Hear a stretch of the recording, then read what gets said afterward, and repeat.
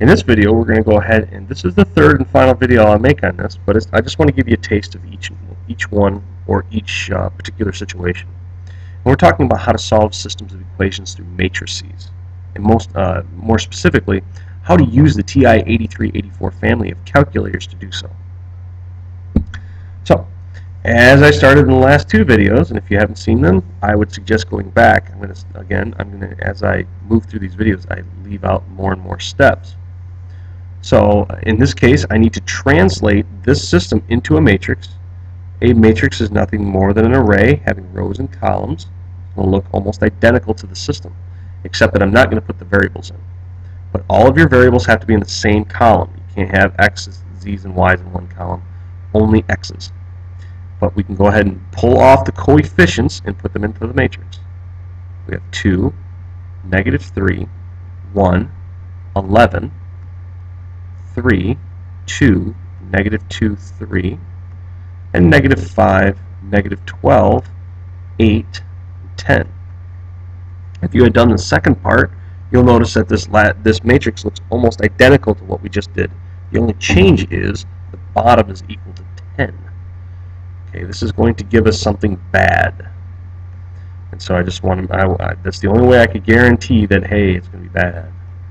But what we're hoping for in the end is that when we spit this out, it's going to give us ones on the diagonal, zeros everywhere else in the where the uh, where the variables are, and then on the ends, this is going to be your answer called the augment.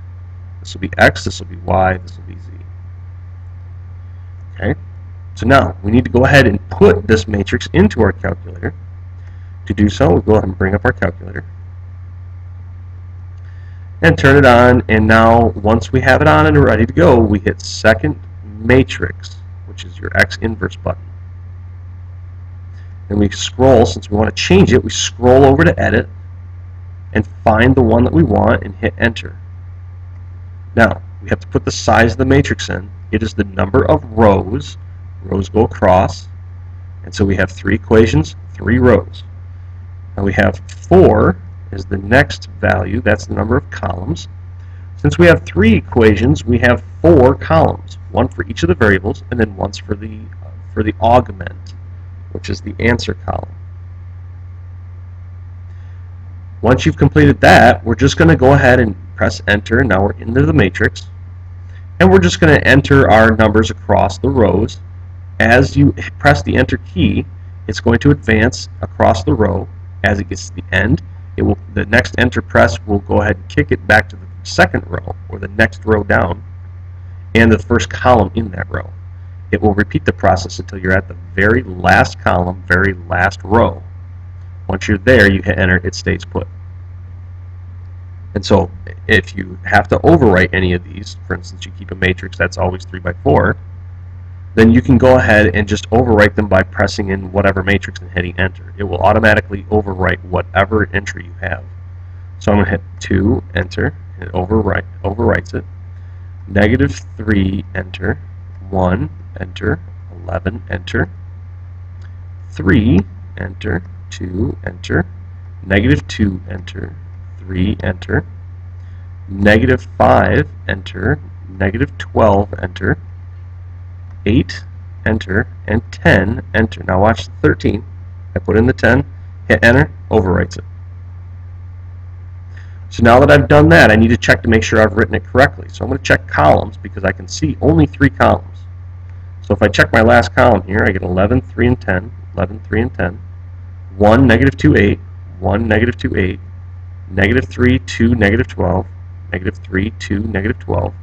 Then I have to scroll to the left in order to see my, my first column here, and so that's 2, 3, negative 5. 2, 3, negative 5. Okay. So once I am satisfied that I put the matrix in correctly, put a second quit. If you start trying to do anything within that within that particular screen, uh, you're going to start messing up your matrix and get an error. When you hit second quit, it takes you back to the home screen. But we want to do some kind of a math to the matrix, and so we have to go to second matrix. All the matrix commands are hidden within this matrix menu. We want to do something to it calculator-wise, and so we go to math. And the thing, the command that we want is called row reduced echelon form, which is RREF. It's option B.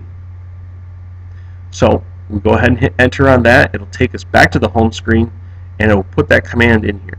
Now what we have to do is we have to have an input. So we have to call the matrix that we want. To do that, hit second matrix. Again, all the matrices are kept right in the matrix command. Now we're not changing it. And since we're not changing it, we would just want to go ahead and call it. And so in the names column, you go ahead and select the matrix that you were working with. For mine it's A, and I hit enter. That will input the matrix into that function. At this point, you can either close off the parentheses or you can leave them open. It doesn't matter. And so we're going to go ahead and hit enter to calculate it. Ooh, and we get decimals. Okay, well, that, you know, most people don't really care for really long decimals. So I suppose that you could just go ahead and say it's close to 0.3, negative 0.31 and negative 0.54. But I like mine to be a little bit more exact, and so if I can get fractions, I will. So if I hit the math key, it'll bring up a command. And then when I do that, you'll notice that first command is to frac. Hit enter, it'll change your answer into fraction form. Hit enter one more time, and then when you do that, it'll change whatever those decimals are into fractions as long as it can. If it can't, it's just going to leave them as decimals.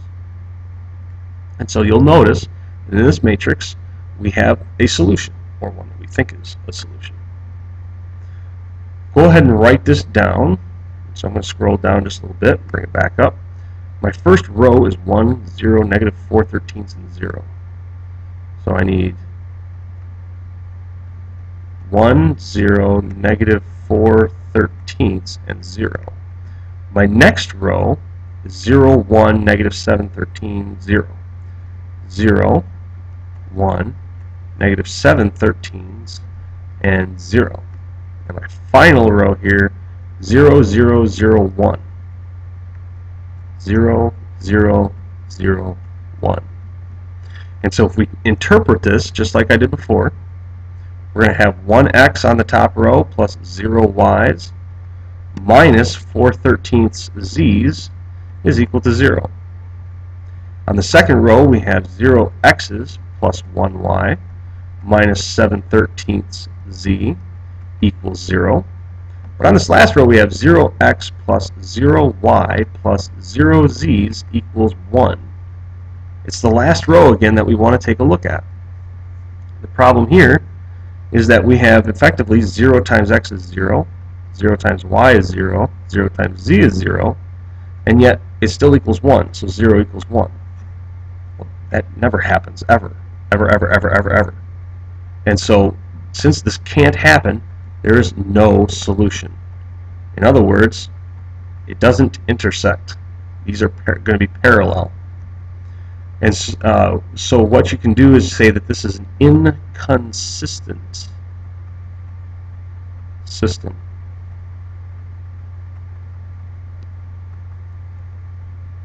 And that's how you interpret that solution. So in all three of these, you want to take a look at the answer matrix, and it will tell you whether there is A, a unique solution, because you'll have ones in the diagonal, and then you'll have answers over on the far column, zero everywhere else. Or it could be dependent, which means you'll have try to have ones on the diagonal, but one row will be all zeros. That's a dependent uh, system. Or you can have an inconsistent system where one row is all zeros except for the final column.